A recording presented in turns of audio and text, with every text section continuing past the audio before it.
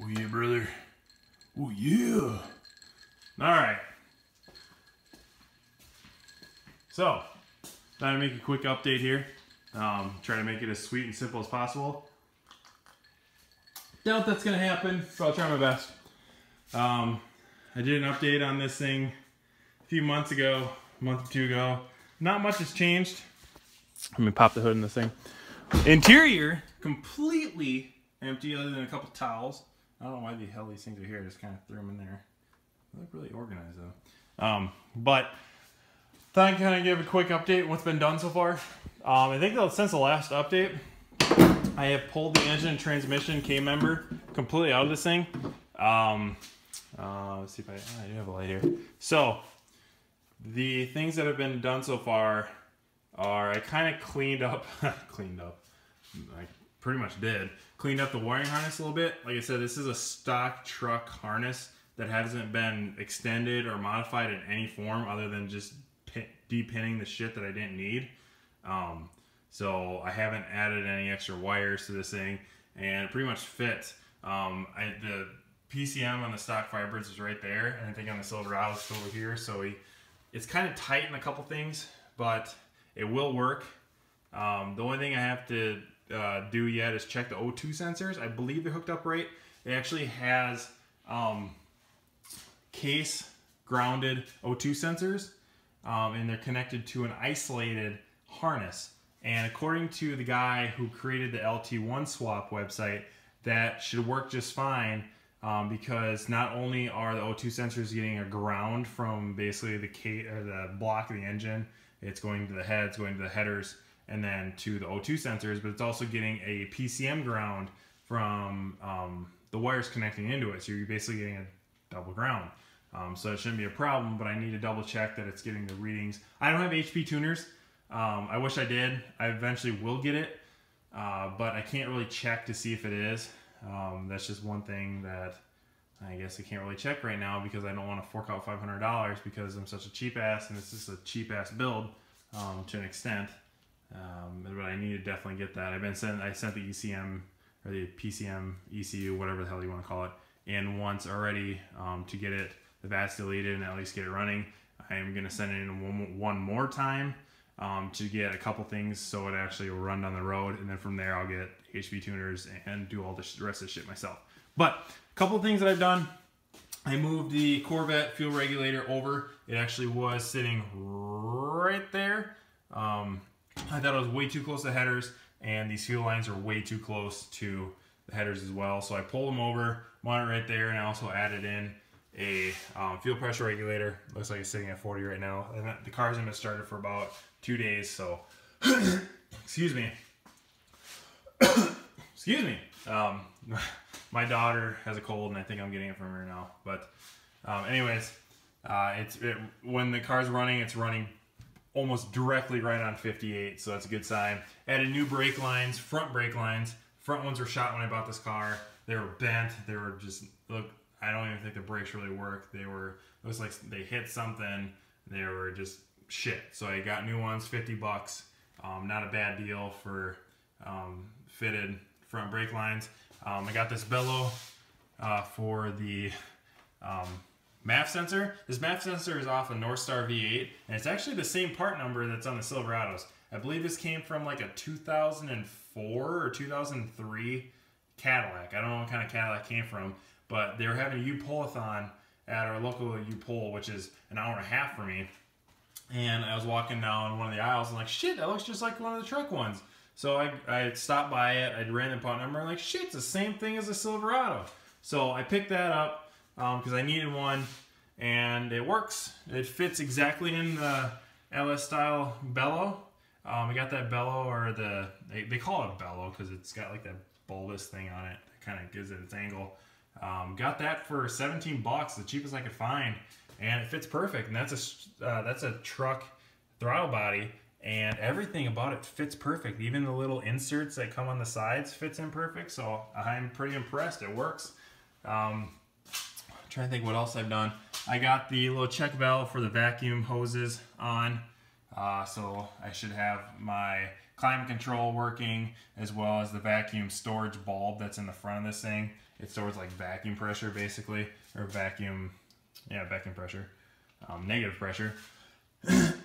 so everything works. Um, I need to connect the brake booster, um, but that'll be later. I bled the brakes, so those are all good to go.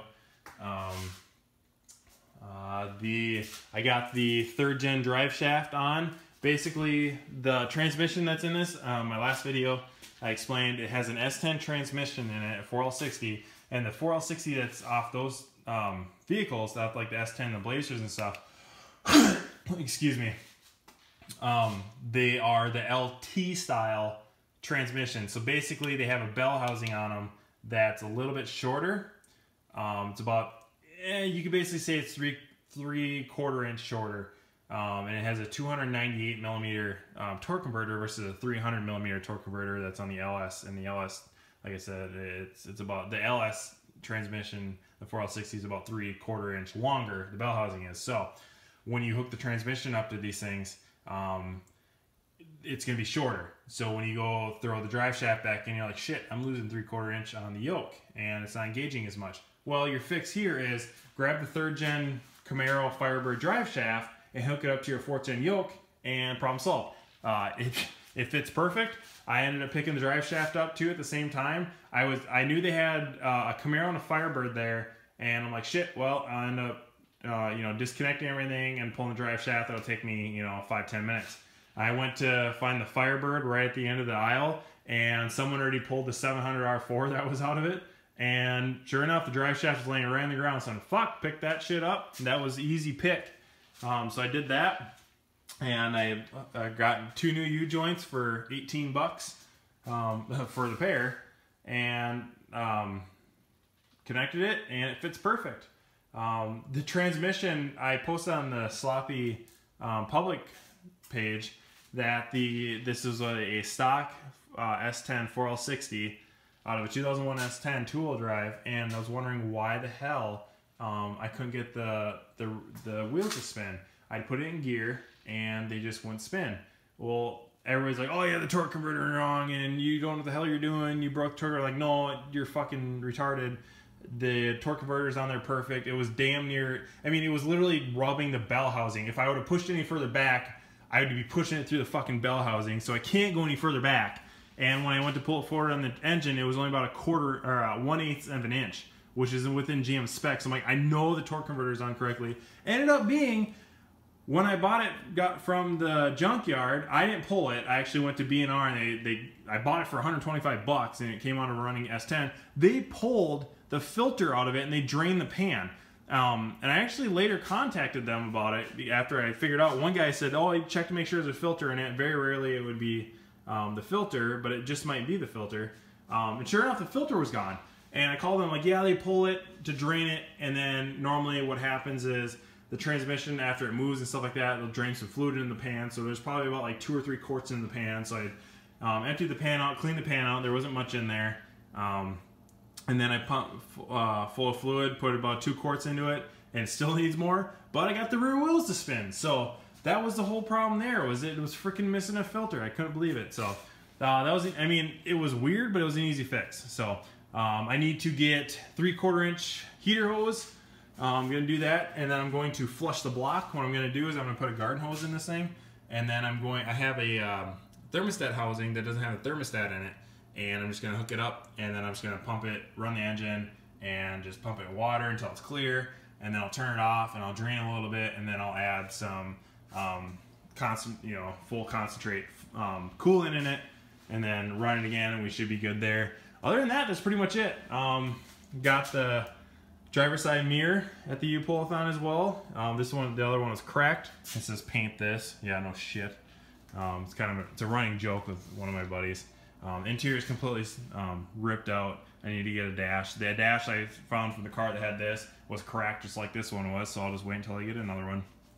Um, and then I also got a rear bumper because the bumper that came in this car was trash. And this one was really good shape. Don't paint this. like I said, running joke. So um, other than that, everything else is pretty much uh, good. I have a budget of 9,500 bucks in this car, and that's brand. I mean, that's full paint job, new carpet, new headliner, dash, new stereo system. Um, I'm actually gonna put a. I'm just going off a tangent, so just kind of uh, bear with me. Like I said, I just kind of go randomly. Uh, I'm gonna put a fifth gen Camaro engine cover on this thing. So I'll have to notch this little section out by the alternator, but I want to hide all these wires and stuff, so I'm going to put that uh, LS3 style engine cover on it and cover a lot of this stuff. I'm just going to kind of organize all these other wires up um, with that, so that shouldn't cost too much. Um, other than that, the only thing other I have to get is I'm actually going to get a stock um, air box and air filter here because they're really cheap compared to like the SLP style. You can get them for 40, 50 bucks around here, and Big deal if I lose five horsepower getting like an SLP lid. I don't give a shit. Um, I just want it to have an air filter on it and I just want to basically cruise in the car. So I'm going to do that because I can save myself 50 bucks and put it somewhere else. Um, that's pretty much it. I have the T-tops off, windows down, um, just to kind of air the car out a little bit more. I'm going to clean this up in here. Um, so this winter will basically just be a lot of organization, uh, cleaning, uh, just basically that's it. Just organization, cleaning, making sure everything's good to go. Um, get the torque arm. There's two bolts towards the rear end that I need to still connect. They're on there, but they're not completely all the way down, so I need to get those down and I can put the nuts on them and get those tight. That's a Trailblazer shifter. Um, you can put a Trailblazer, any kind of Trailblazer um, shifter on here. All you have to do is um, kind of drill out the recess portion inside um, otherwise it won't go all the way down and when you tighten it, it'll actually tighten down on the the mechanism that engages the transmission. So you'll be like, shit, I tightened it down, now I can't even like pull the transmission out of park. Well, yeah, you have to you have to drill out the inside of it um, and then put it down and tighten it so it goes a little bit lower. So I did that, works perfect, awesome. That was a nice $3 tip versus the other one. I like that shifter a lot more than the the one that comes in the Firebirds It has like the button on top. Um, it's a lot more, I guess, comfortable. Um, so that's just my opinion anyways. But yeah, that's pretty much an update. Um, nothing more, nothing more I guess to really say. Keeping the stock hood, I was gonna put a ram air hood on it. I actually been looking at pictures um, and I actually have grown on the stock formula hood on this thing. Um, and I plan on putting on Z06 C5 wheels and some fresh new tires and that's also part of the the budget for 9,500 bucks. So, um, got a rack and pinion. Um, yeah, this would be the last piece that I say here. Got a rack and pinion. This actually came off a V6 car. Um, I needed a LS1 style rack and pinion because these are a lot shallower, or I guess you could say there's more of a V here. They're not straight up and down like this. Actually, the one that came off the car is more up and down. As you can see, it's not quite angled as much like that it's more up and down and it runs in when you hook up the um, steering shaft it runs into the motor mounts and it also will run into the headers so I need an LS1 style and this actually came off a V6 car too but if you have a V6 car that has an RPO code of FE2 FE4 or FE7 they actually have the LS1 style steering rack in it. So if you find a V6 car and you find that RPO code in there save yourself 120 to 150 dollars off a steering rack because it will work. Um, this one came off an FE4 car and it sure as hell works. The same style as the LS1 so I got this and actually got two steering shafts total all that stuff for 120 bucks. So I'm actually gonna get sell one of those back they're normally go for 30 to 50 bucks so get rid of that and I'm gonna put new um, tie rod ends on it and put it in the car and I'll actually have steering and it will, I got the lines, and it will hook up to the stock truck um, power steering. And for all the people that said, oh yeah, the stock hood on the F-bodies, or at least the Firebirds, oh, they won't work with truck accessories. Yeah, a load of bullshit. They, it fits just fine. So if you want to do a Firebird at least, I don't know about the Camaros, I don't know how, how tall their hoods are, but even a stock Firebird um, 4th gen from 98 to 02 at least, um, the stock hood will fit the truck accessories. So don't waste your money. Um, if you just want a functional lightweight car, use the stock hood, use the truck accessories, it'll fit just fine. Even the radiator in the stock position, it'll fit just fine. So that's all I have right now. Maybe in the next couple months I'll have an update. Uh, actually, our second kid is due in April, so I don't know how much more I'm gonna get done with this until then, just for I'm gonna start preparing after Christmas and the holidays are coming up and stuff. So, um, uh, oh yeah, I got the air dam off that same car that I got the other pieces off of because there wasn't one on here. I picked all that stuff up and I picked up some LS coils. I picked up probably $200 or $250 worth of parts for 50 bucks. So if they have another one and they have another fourth gen, I'll probably pick up some more parts. So that's all I have right now. Take it easy, guys. Later.